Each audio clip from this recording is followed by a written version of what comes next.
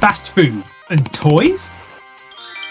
It's undoubtedly a seemingly unlikely duo that has captivated generations.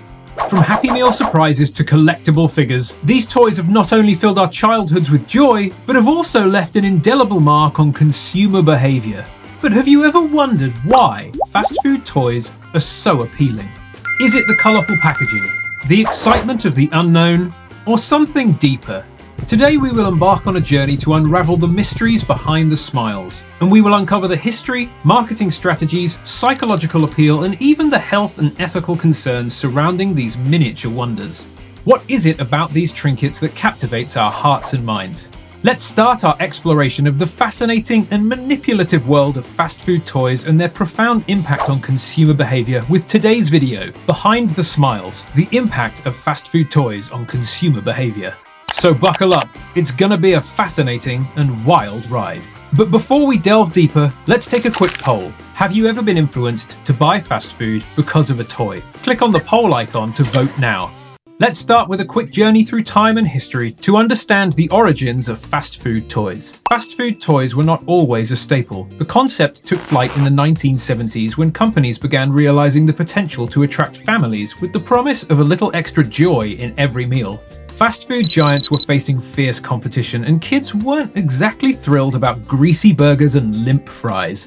Now, here enters the ingenious idea fast food toys. From simple trinkets to elaborate playsets to the evolution of tie ins with blockbuster movies and popular franchises, these toys became ingrained in our culture. No doubt, the evolution of fast food toys mirrors the changing landscape of consumer expectations. Over the years, these toys became more sophisticated and much more desirable. They saw limited editions, collectibles, and even cultural phenomena. Fast food chains mastered the art of tapping into trends and creating a sense of urgency and exclusivity that had kids as well as parents or families hooked. Certainly, when I was a kid, I remember being more excited about the toy in my Happy Meal than the food itself. But how did these toys become such a powerful marketing tool? What makes these toys so irresistible? The marketing strategies behind them are nothing short of genius. Through engaging anecdotes and compelling statistics, fast food chains ingeniously tapped into the psychology of desire and surprise. Limited edition releases, tie ins with popular movies, and strategic partnerships with toy manufacturers created an irresistible allure. In fact, did you know that McDonald's once distributed more toys than Hasbro, Mattel, and Lego combined? Companies deployed clever marketing tactics. They knew that kids with their nagging pester power could influence adult decisions.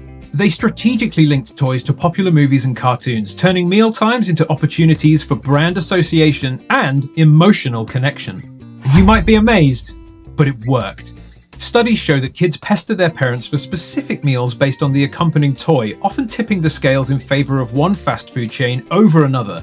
It's a multi billion dollar industry built on the backs of plastic smiles and childhood desires. Now that we know how these toys are marketed, Tell us, do you think the marketing strategies for these toys are effective? Vote in the poll right now. According to an article published recently, nearly $2 billion is spent yearly by US food and beverage companies to market products to children, with the majority of expenditures promoting less healthy foods and drinks.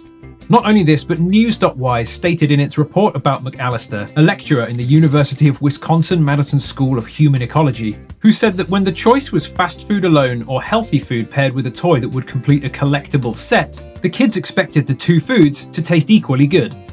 There's something about the collection that makes the toy especially powerful. Despite what everybody knows about kids' preferences for toys along with fast food, the scientific journals did not contain a rigorous study of marketing tactics embodied in the McDonald's Happy Meal. McAlister says, We all know that Happy Meals sell. We observe that kids enjoy them. But until now, there was no research on children's interest in toys in connection with meal selection. We now have new evidence that the presence of a toy, particularly a collectible one, can change a child's perception of how the food is going to taste. Oh, the power that these little trinkets hold. Beyond the marketing, there's something deeper at play. These toys tap into a child's innate psychological needs.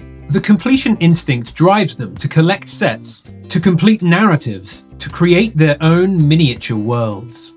Each toy is a piece of the puzzle, a step closer to a feeling of accomplishment and satisfaction.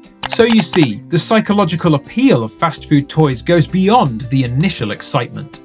Children in particular are drawn to the feeling of collecting and completing sets. The joy of discovery and the thrill of sharing experiences with friends contribute to the emotional connection that lasts long after the meal is finished. It's not just a toy now, but it's a memory in the making. Think about it. What attracts you more, the toy or the food? It's just like how I felt when I finally completed my Happy Meals toy collection of Transformers. Oh, Optimus Prime, you were worth every greasy bite. You see, these toys create a strong sense of achievement among kids. Now, let's talk about the real impact. These toys aren't just cute trinkets, but in real, they are influences in the world of consumer behavior. Influence of fast food toys extends beyond mere playthings. They wield significant power in shaping family purchasing decisions and overall consumer behavior.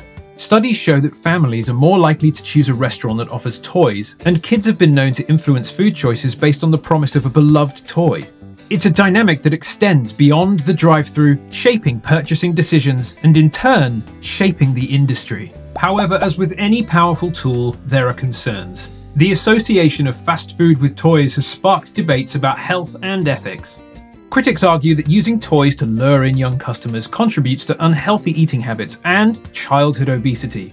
Indeed, we can't ignore the health implications and ethical debates surrounding the marketing of these toys to children. This has prompted a closer look at the responsibilities corporations bear in shaping the well-being of their youngest customers.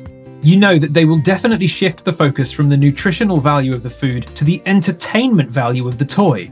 A healthy salad loses its appeal when it's pitted against a talking minion figure for sure. And it may seem surprising, but it's obviously true. As reported in ABC.net, a study involved almost 1,000 Australian children between 5 and 9 years of age, who were offered a number of healthy and unhealthy meal choices after watching a movie trailer followed by a fast food advertisement or leisure activity. Some of the meals came with a movie character toy, and some did not, Overall, it found children were more likely to choose fast food, but the interest in healthy meals significantly increased when a toy was offered. Lead author Helen Dixon from the Cancer Council said it proved what food companies have known for decades. When a movie character toy was offered with a fast food meal, kids were more likely to want that meal regardless of how healthy or unhealthy it was. That brings us to an important question. Do you believe fast food toys contribute to unhealthy eating habits in children? Well, the landscape is shifting. As consumer awareness grows and societal values evolve, fast food chains are adapting. With increased consumer awareness and regulatory changes, the marketing of fast food toys is undergoing a transformation. Some have introduced healthier options, while others focus on sustainable and ethical practices. Governments and advocacy groups are also stepping in to regulate marketing practices targeted at children. These changes signal a new era where transparency and accountability are paramount. And there you have it. We have explored the clever marketing, the psychological allure, and the evolving landscape of consumer awareness. The impact of fast food toys runs deeper than we often realise, but as we dive deeper into this strategy, it's crucial to reflect on the stories behind what we buy. Think about the impact these toys have on our choices and health next time you see one. Remember that as consumers, we have the power to shape the narrative and demand responsible practices from the brands we support. Every purchase carries a story, so let's be mindful and informed consumers, understanding the stories behind what we buy. By doing so, we contribute to a world where the joy of a toy does not come at the expense of our health or values.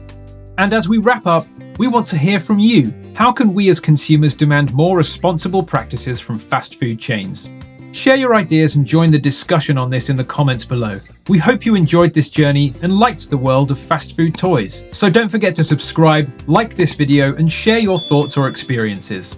Together, let's continue the conversation and shape a future where smiles come with not just joy, but also responsibility. Thanks for watching.